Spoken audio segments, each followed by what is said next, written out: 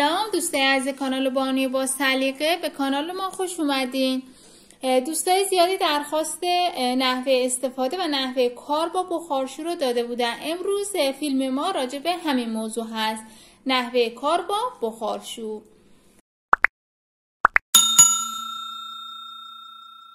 این بخارشوی من هست. بخارشوی مختلفی هست. با ظاهر و شکل متفاوتی. و نحوه کارکرد هر کدوم با همدیگه فرق داره. ولی خب به کارکردهای یکسانی دارن. خیلی از بخارشوها. این مخزن آب بخارشو هست. بعضی ها مخزن آبشون جلو هست و بعضی ها اون قسمت پشت دستگاه هست. بخارشو رو در میاریم مخزنش رو و آب داخلش آب میریزیم. بهتر هست آب جوشیده سرد شده بریزین که رسوب نگیره بخارشوی شما.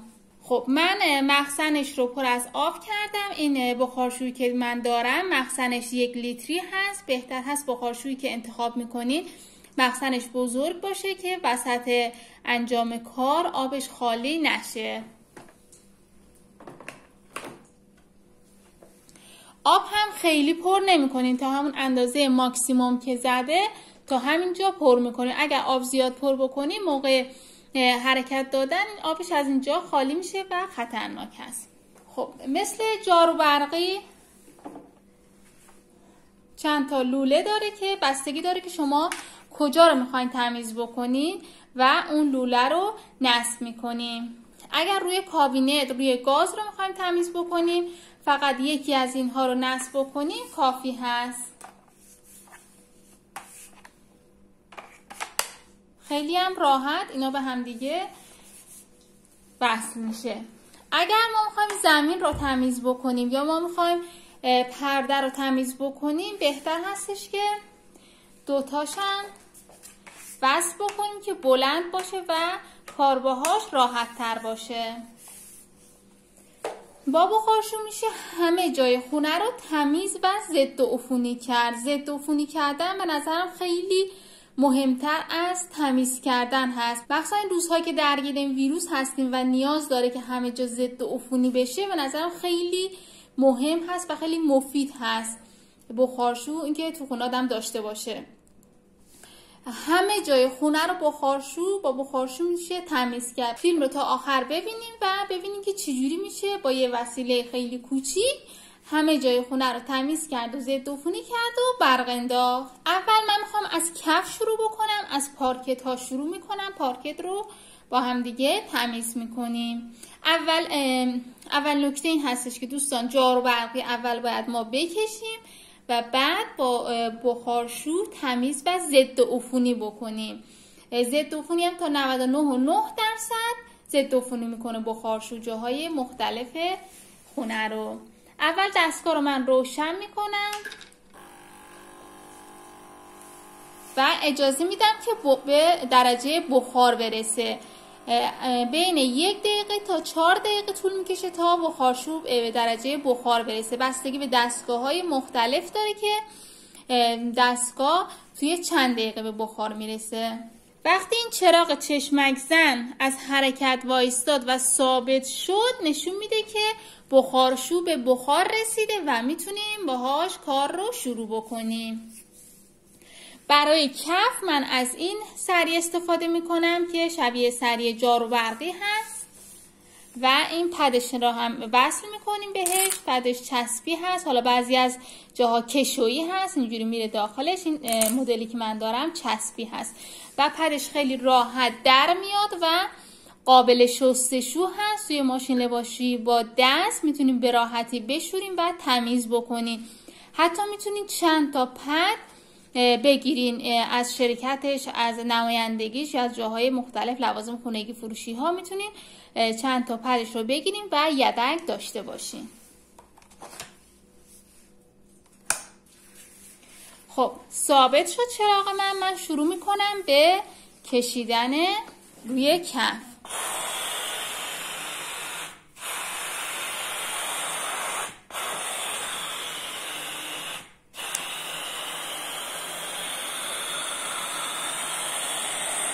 دیدین که خیلی راحت من کف خونه رو بدون هیچ مواد شوینده تمیز کردم برق انداختم و ضد عفونی کردم. خیلی راحت این دسته رو فشار میدم و بخار تولید می‌کنه. کنار هم کنار هم می‌کشیم و کل کفمون رو با این تمیز می‌کنیم. جاهایی هم که لکه داره بدون اینکه مواد شوینده استفاده کنیم بدون اینکه دستمال بکشین خیلی راحت با بخارشو میره.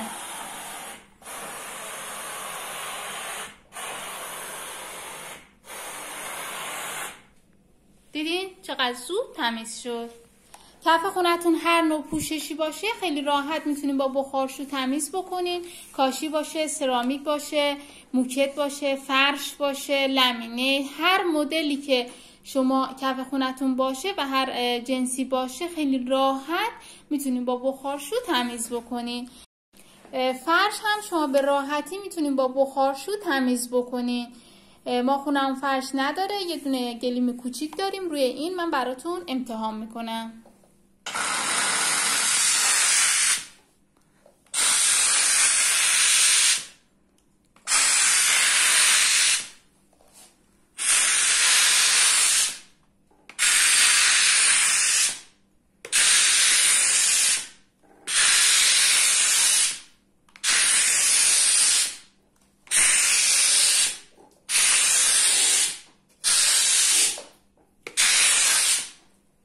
ببینید چقدر تمیز شد تفاوت قسمتی که کشیدم با قسمتی که نکشیدم رو می‌تونیم ببینین.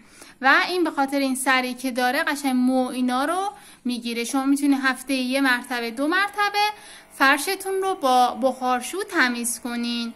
منتها باید به یه نکته توجه بکنین. وقتی که تمیز کردین نباید تا یک ساعت روی فرش را برین که کامل باید خشک بشه. حالا خیلی خیس هم نمی‌کنه فرش رو. ولی باید در پنجره رو باز بذاریم و روی فرش راه نرین تا خشک بشه. مثل حالتی که شما شامپو فرش می‌کشین فرش رو باید سب بکنین که خشک بشه. اگر فرش شما لکی چیزی نداره می‌تونین همجوری که من کشیدم خالی بکشین.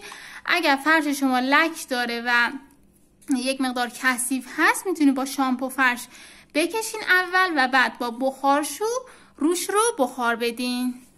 خب مبل هم به همون صورتی که ما فرش رو تمیز کردیم مبل هم می‌تونیم به راحتی با بخارشو تمیز بکنیم. مخصوصا مبل های چرم و مبل های مخمل به راحتی با بخارشو تمیز میشن. شما اگر مبل چرم یا مبل مخملی دارین می‌تونی هفته یه بار دو بار با بخارشو بکشین که تمیز کردنش خیلی راحت باشه که دیگه نخواد مواد شوینده صابون رنده شده یا حالا مواد دیگه امتحان بکنین و خیلی سخت مبل رو تمیز بکنین هفته یه بار دو بار بکشین که گرد و خاکیش بره هیچ موقع دیگه مبل شما کثیف نمیشه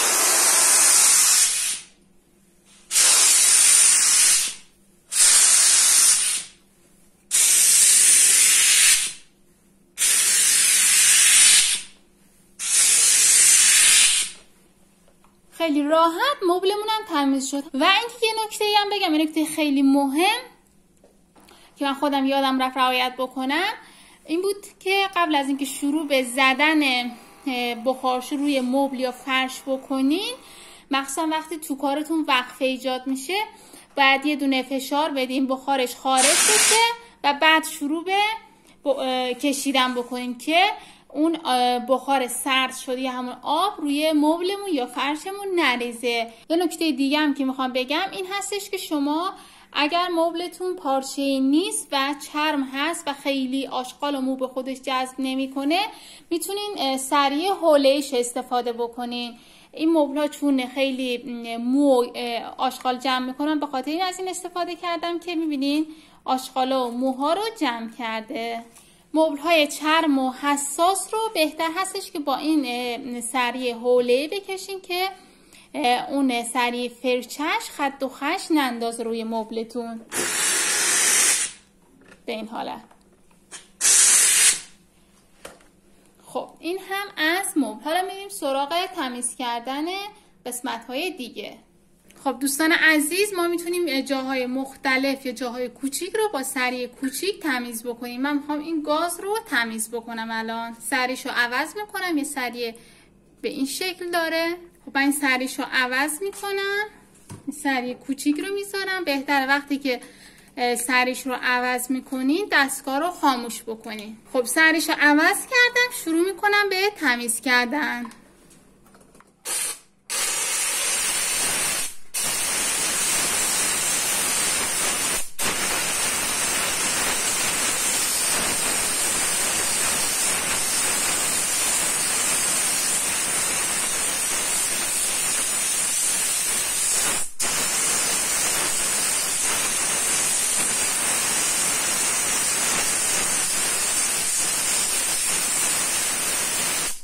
ببینیم بدون نیاز به اسکاج بدون نیاز به ماده شوینده بدون نیاز به سیم به راحتی چربی ها رو پاک می‌کنه.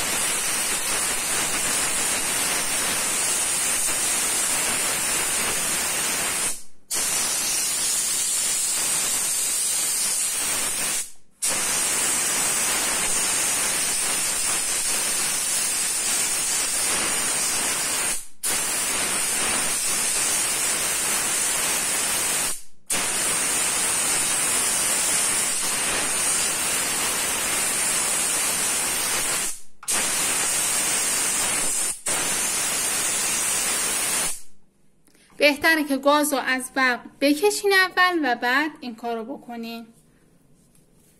خب وقتی که کشیدین با یه دستمال تمیز می‌کنین و هر جایش مونده دوباره تمیز می‌کنین.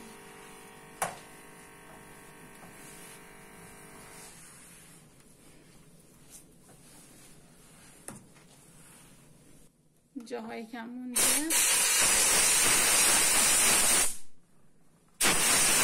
اینجوری سری رو باید حرکت بدیم.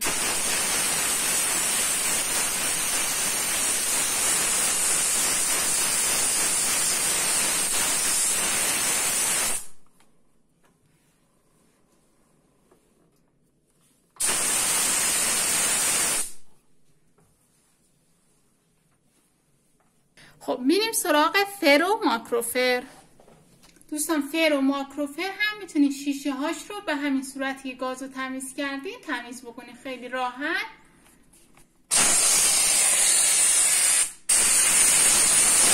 می‌کشیم و با دستمال پاک می‌کنیم بیرونش هم به همون تمیز می‌کنیم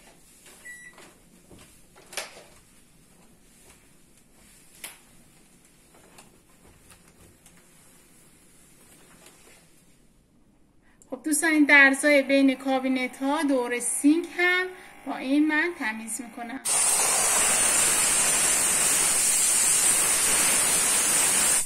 این درزایی که دیدیم بین سینک هست یا بین سینک و شیر که با هیچ وسیله نمی‌تونیم تمیز بکنیم با بخارشو می‌تونیم به راحتی تمیز بکنیم. اینجاها یا اونهایی که بین کابینت و سینکشون یه درزی داره و چربی و آشغال می‌گیره اونا رو می‌تونن اینجوری تمیز بکنن. و بعد با یه دستمال خشکش می‌کنیم. کابینت ها یا کاشی هایی که پشت گاز هست چرب هست یا کابینت های MDF high gloss که تون چرب میشه کثیف میشه هم با این سری بخارشور خیلی راحت می‌تونیم تمیز بکنیم.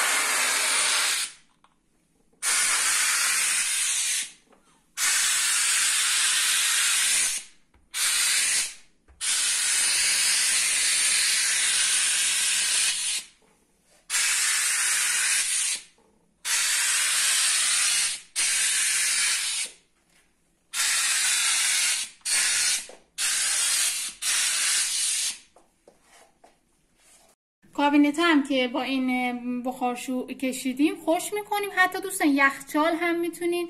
اون درزایی که دست نمیره یا حالا دوست نده اون طبقات یخچال در بیارین تمیز بکنین با بخارشو خیلی راحت می‌تونین تمیز بکنین. به شرط اینکه یخچال حتما از برق بکشین. خب یه سری دیگه هم داره بخارشو این هست. که برای درز بین کاشی ها بین سرامیک ها یا برای کلا درز هایی که دست نمیره و سخت تمیز کردنش استفاده میشه به این حالت.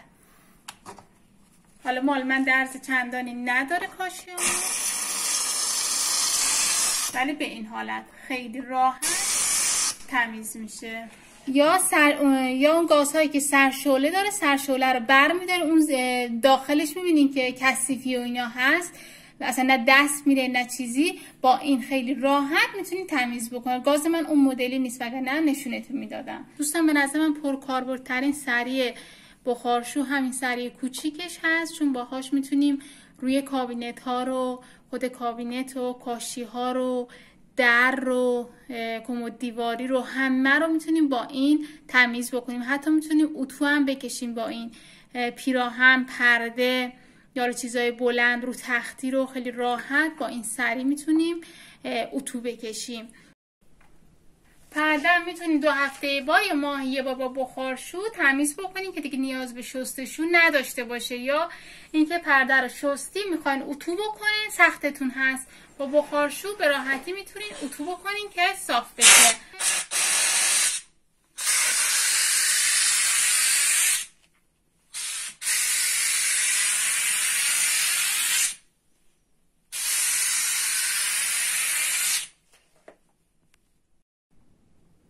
میزها و وسایل چوبی هم می‌تونیم با بخارشو تمیز بکنیم.